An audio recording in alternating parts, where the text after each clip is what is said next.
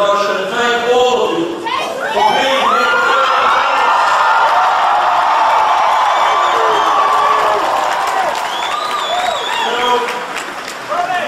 people have said to me, they say, Bernie, you know, you're running for president of the United States. Why